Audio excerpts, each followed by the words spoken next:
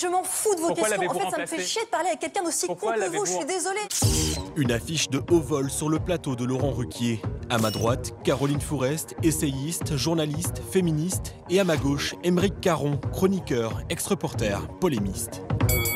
Je ne discute pas Non. avec quelqu'un qui insulte les autres comme vous venez de le faire à mon égard. Un clash en bonne et due forme, comme la télé les aime. La télé, et bien plus encore. 119 reprises sur tous les sites d'information et des tweets par milliers. Le débat continue sur les matinales Qu'est-ce qui s'est passé sur le plateau de On n'est pas couché?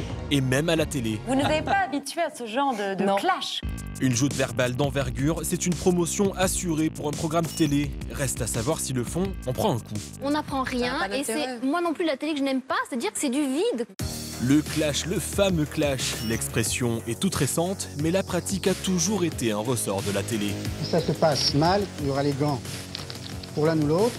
La différence aujourd'hui, c'est que dans le rôle de la tête à clash, les politiques ont laissé leur coin de ring aux polémistes. Vous êtes en train de, de me dire de, de ne pas porter de jupe longue alors qu'il y a des mini-jupes Les chaînes d'infos exploitent le filon, pas moins de trois débats d'éditorialistes sur iTélé en 24 heures.